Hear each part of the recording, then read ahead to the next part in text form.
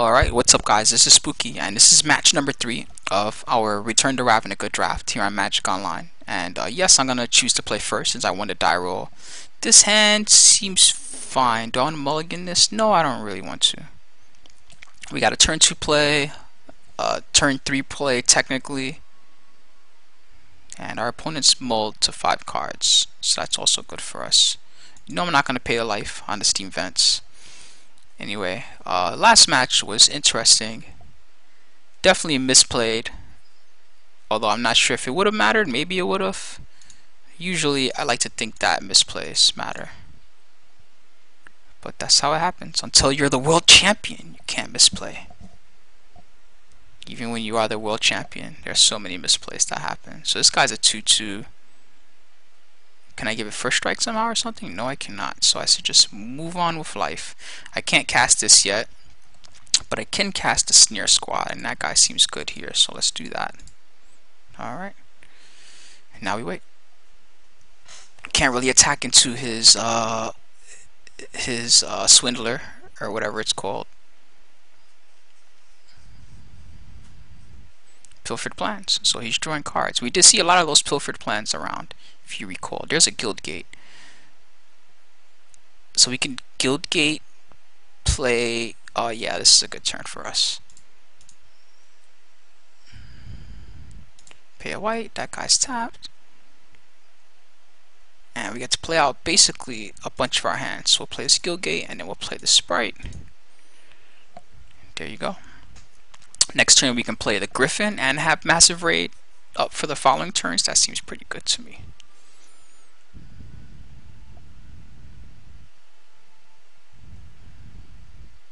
Sage's Row Denizen. Do we want to do anything about that? I mean, it is stopping our assault. Let's play this mana. So we could tap that down, attack with our two guys.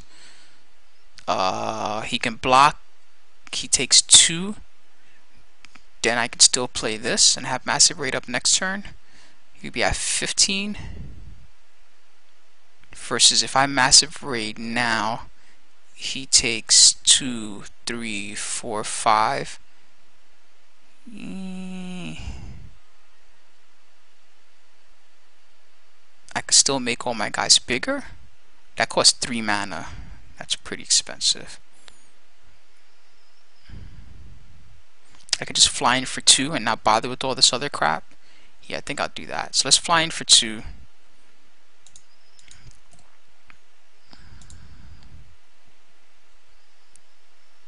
Get some free damage in.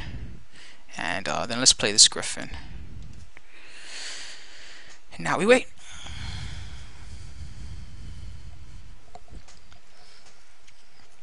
Okay his plays are not looking very good.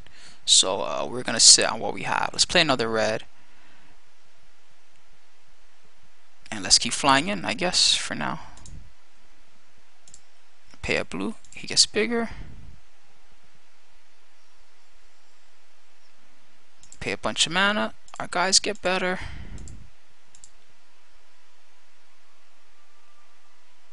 Is he gonna respond? Nope, guess not. Okay.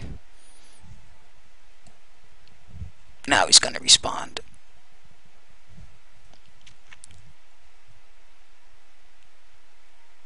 Far and away.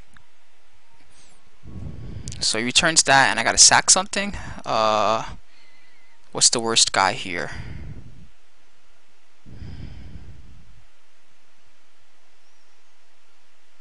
Damn, far and away, that was pretty good there. Sack the sprite. Okay, so he really set me back a turn there. That was a good play on our opponent's part. I would have sent back the sprite. I think that was a better play. I guess he was afraid I would get rid of the snare squad instead. Maybe I should have gotten rid of the snare squad. It does kind of gum up his board though. Voidwielder. Damn. Okay, snare squad goes back. And now he can attack. And I take 4, I go to 16. That sucks. Womp womp.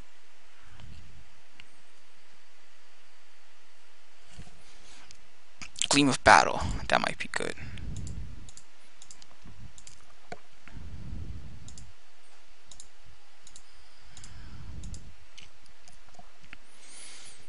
Okay, so next turn we can play Gleam, attack with our flyer, make it bigger. We could attack with all our guys and make them bigger technically. Let's see what he's about. Oh my god, that's a big flying scavenge guy. Holy shit.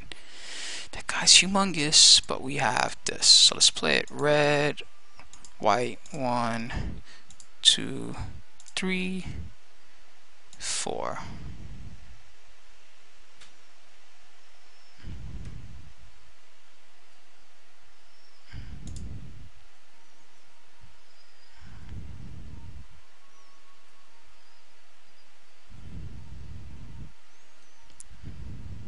We have 4, 8 mana. Damn. And we have a massive raid? That seems pretty good. So he's attacking back with his flyer. No surprise, because our outclasses his. Now what? Ash sell it? 3-3 Ash sell it with first strike? Yeah, this... This is my time.